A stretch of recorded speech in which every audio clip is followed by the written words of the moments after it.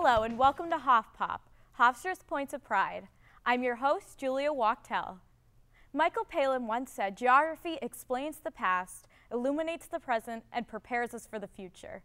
The faculty of Hofstra's fast-growing Department of Global Studies and Geography would agree.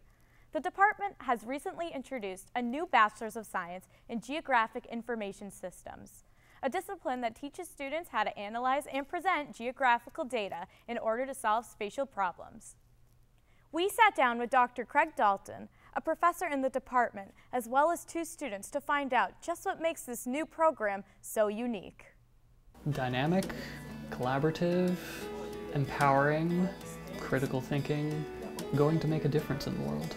The philosophy of the Department of Global Studies and Geography is empowerment through education. I am Craig Dalton.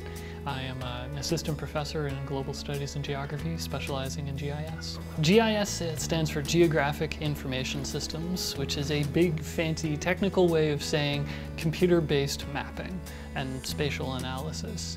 We use this sort of thing for everything from traffic planning, ambulance response times, to environmental questions, how we can build a better, more sustainable, nice place to live in, whether that's Hempstead, New York, or New York City, or the Earth everybody does some kind of geography, right?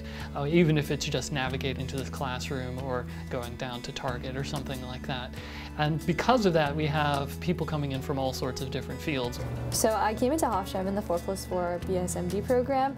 Uh, I never ever thought that I would go into geography or for that matter GIS.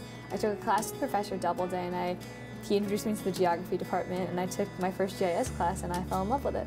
I think that what makes the department special is having a combination and having a set of programs that allows students to take the lead. We really make an effort to have projects, papers in the, in the department where students choose a topic that they work on and can pursue it so that it means that whatever they're working on are directly pertinent to the things that they find interesting and to the things that they find uh, professionally useful. One past project that I've done was mapping national parks in Long Island that like showed me how to collect data and then analyze it and sift things out because there is a lot of data. And then the one I'm working on right now is migration to and fro the Caribbean which is really interesting and I'm very excited about it. In the past here at Hofstra, I've worked with students and we've made a gender-inclusive restroom map of campus, so anyone of any gender identity can find a safe place to use the restroom.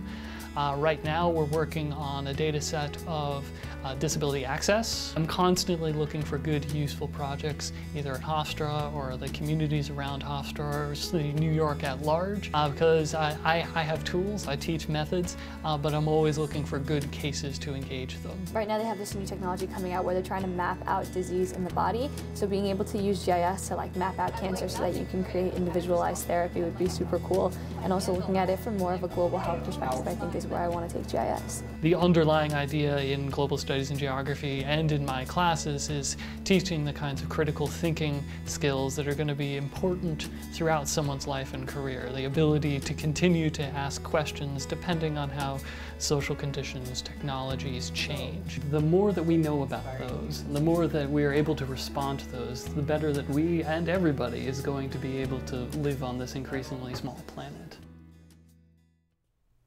Well, thank you so much for joining us.